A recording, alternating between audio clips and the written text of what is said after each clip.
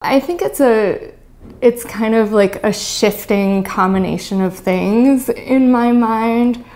It's not only all of the things that prop up and fuel the prison system, including, you know, all of the industrial interests, all of the business interests, all of the government interests, all of the politicians who are propping up their careers based on this.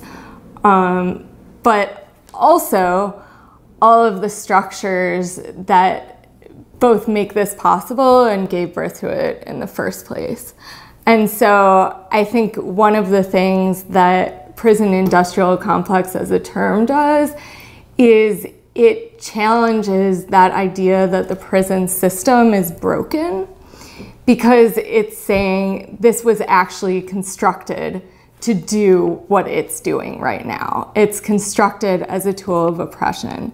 It's constructed as a form, as a tool of marginalization and a tool in particular to oppress particular groups and particularly black people, poor people, native people, you know, all of disabled people. And also those groups shift you know, um, depending on the era, depending on the purpose.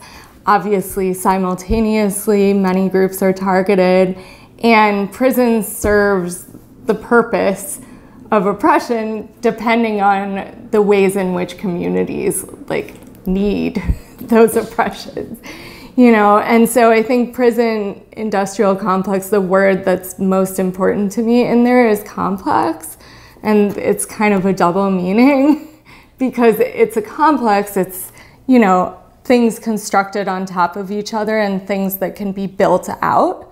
One of the features of the prison industrial complex is the ways in which it expands, you know, and the ways in which it, um, the net widens is the expression that a lot of people have been using lately, I think, because the prison industrial complex doesn't obviously only include prisons and jails. It includes all of the other carceral mechanisms and mechanisms of policing and surveillance in which alternatives are built up.